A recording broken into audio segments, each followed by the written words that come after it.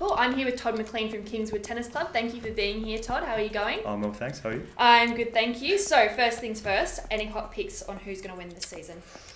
Well, I think we should do okay. Mhm. Um, Broadview are looking pretty strong this year as well. Excellent. So, when you're playing the teams, what is your biggest shot on court? My serve when it goes in. Your serve? yep, excellent.